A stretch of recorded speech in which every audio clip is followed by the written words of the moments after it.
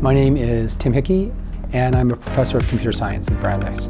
So the idea behind the app design program is that we bring in students and in two weeks we teach them everything they need to know to build an interactive, database-backed, reactive web application in a team of typically around six students. And then they go and present their ideas to Google. The, our focus is on app design because it's the area of computer science that you can have the most impact with the least previous experience.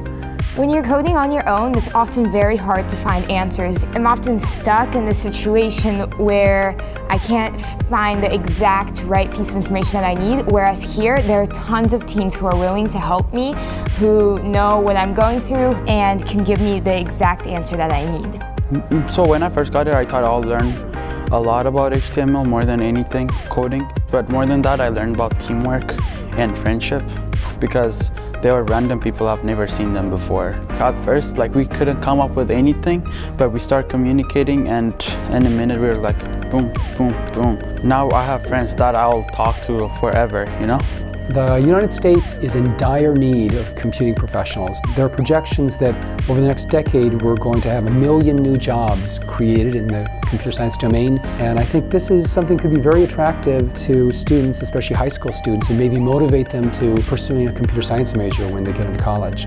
It's a wonderful feeling about being able to create something which could have an impact on the world.